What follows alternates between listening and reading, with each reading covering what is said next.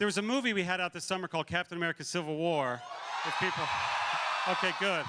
Good. The uh, characters in that movie, you know, some of them go into other movies, some of them have come from other movies. Uh, one of them was introduced for the very first time in that movie, and his name was Black Panther. Ladies and gentlemen, the director of Black Panther, Ryan Coogler.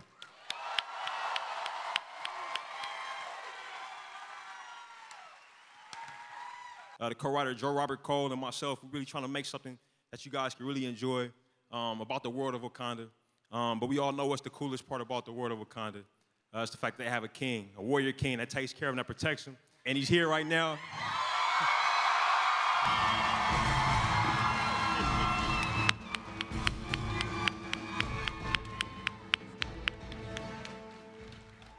being being here at Comic Con, this is my first time here, right?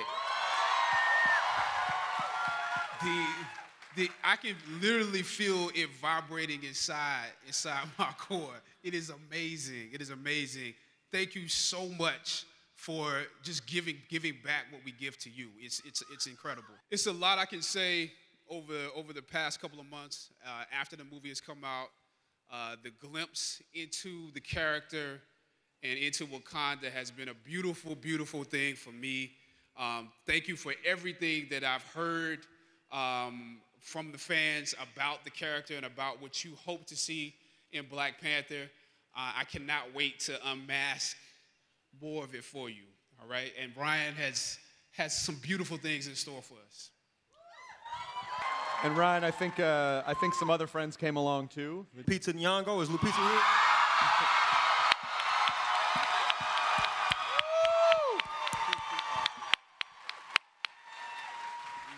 We got a adversary that Black Panther have to face named Eric Killmonger, played by Michael B. Jordan.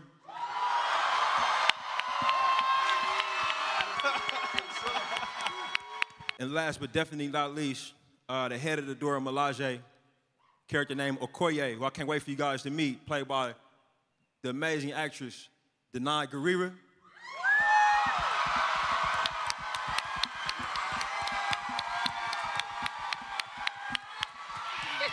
I know you guys haven't really started anything yet. I know you have to get back and, and start shooting, but is there anything you can tell us? How, how do you guys feel about joining this amazing experience and cast and working with Ryan? I'm, I'm extremely excited to be a part of this cast, working with my fantastic director again, this incredible cast, and uh, a new world and a new character kind of to, to, to, portray. So I'm, I'm extremely excited, and I wish I could tell you guys more. I don't even know.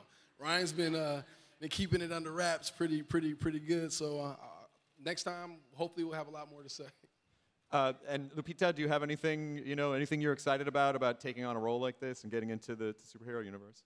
Well, first of all, it's my first time at Comic Con too. Oh wow! So, thank you for the very warm welcome. I'm looking forward to kicking some ass. It's not my first time at Comic Con. it's not my first time in Hall H. I love y'all. And um, I'm still pinching myself. I cannot believe I'm up here with these astounding people. I just finished working with this beautiful woman. That amazing man over there, this filmmaker, is, I've respected and admired for so long, as well as these two astounding actors. So uh, to sit down with um, Mr. Coogler and learn his vision has been, I'm, I'm just utterly pinching myself to see this come to life and to be a part of it. I still kind of can't believe I'm standing here. This is uh, really, really emotional for me, man. I'm, I don't know if you guys this, but I'm a uh, big, big comic book fan. In 2009, I went to my first Comic Con. I sat way, way, way, way, way back there.